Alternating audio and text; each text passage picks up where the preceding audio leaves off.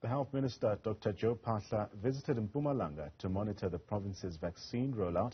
Dr. Phaahla has raised concern over what he says is misinformation about COVID-19. Now, for an update on Mpumalanga's vaccine rollout and its response to COVID-19, I'm joined by Mpumalanga Health MEC, that's Sasekani Manzini. MEC Manzini, a pleasure to have you on the program this afternoon. Now, the minister, alongside other officials, uh, including yourself, uh, visited several vaccination centers across the province. Uh, how would you say the call for people to get vaccinated is being received there? Afternoon to you, Ntantla, and the viewers at home. Indeed, in terms of our vaccination rollout in the province, we can say that for now we are at 499,465, which is 16.37% of the population of the province. Of course, we are concerned about the numbers, hence we welcomed the introducing of the age uh, 18 years uh, and above so that at least we know that when we go to all the sites that we have opened, almost everyone can be vaccinated. So as a province, we have done uh, everything in terms of opening sites in the villages so that people that don't have to go mm. and travel long distance, even where the minister we, uh, was in Mpumalanga in terms of monitoring of the vaccine, he was in the deep rural of Nkomazi where the people are. So we are continuously trying. We have seen even the premier uh, leading us to the mines, to the farms, so that we go wherever people are. So I think this program is going to assist us moving forward, and also the 18 years with the slogan that uh, when these young people are going to vaccinate, they must take their mothers, their fathers, grandmothers, mm. and grandfathers so that even the community members, so that we increase in terms of uh, more people being vaccinated in the province. Now, MEC Manzini, of concern is that uh, the minister also raised uh, the issue of misinformation around the vaccination rollout and vaccines in particular. Uh, what have you noted in this regard?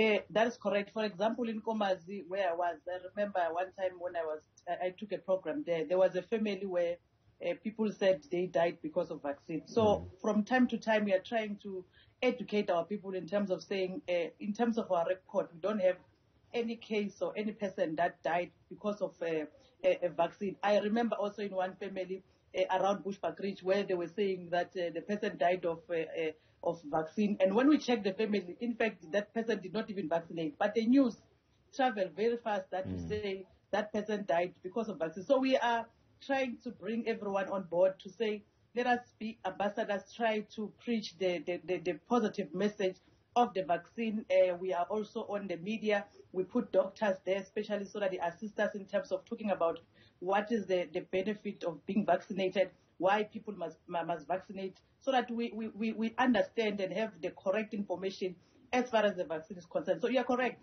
That's what I remember. I went to one uh, taxi rank where one taxi uh, uh, driver was saying, "I'm not going to vaccinate because we don't have the rule." So there's a lot of things that people they don't take this thing of vaccinating very serious. They think that they are doing it for somebody else. So, but we are continuously. That's why we're going wherever they are.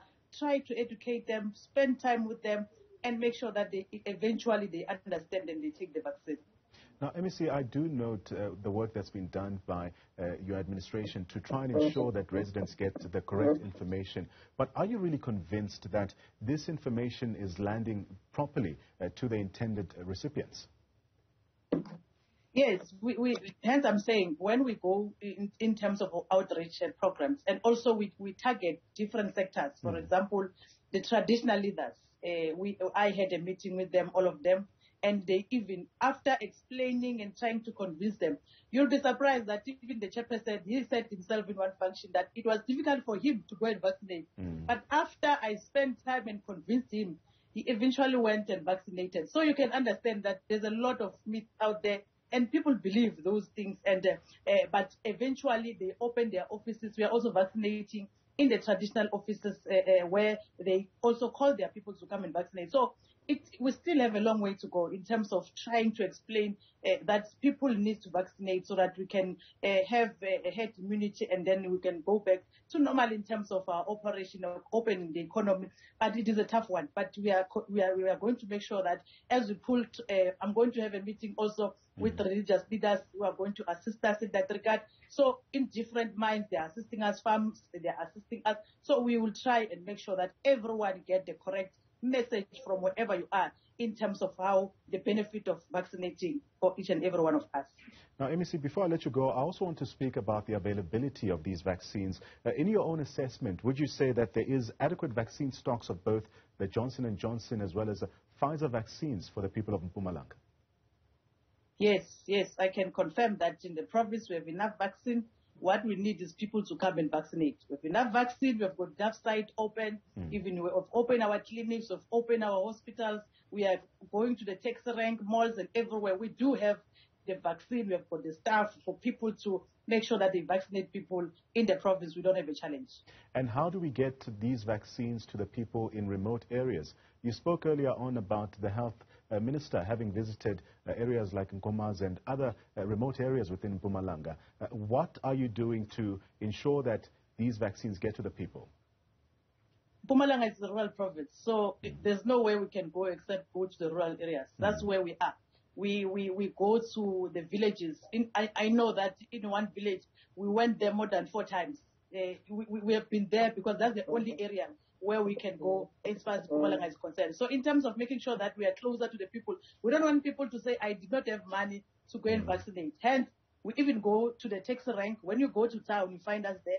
When you go to the mall, we are, we are there. We make it convenience for our people to be able to vaccinate. So well, the, our, our target is that let's go where people are so that the issue of resources in terms of them accessing the vaccine does not arise because we are where they are. They just walk into our facilities and get vaccinated.